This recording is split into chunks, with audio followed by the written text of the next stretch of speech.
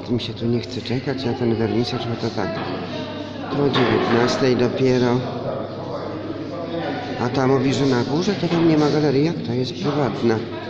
Nie ma odruchu gościnności umoherowych w Warszawie. Ja mówię do Ewki, że ten Mareczek to by założył światłowody, matkę by zaprosił, matkę by wyprosił, po drodze by po schodach utopił w łyżce wody albo do Wisły by ją wyrzucił, matkę, wygonił z domu.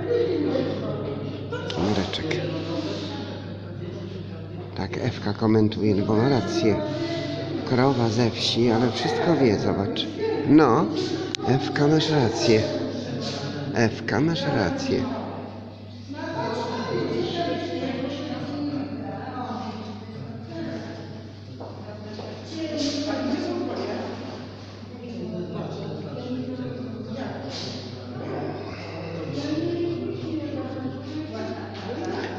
Także światło coraz bardziej świeci aż do białego dnia. Że co? Się dowiedzieli? Żeby matkę swoją w łyżce wody Mareczek utopił. Taki ma charakter. Dobrze, że ona była chytra i oddała go do przytułka świętego Łazarza piosecznie. Bardzo dobrze.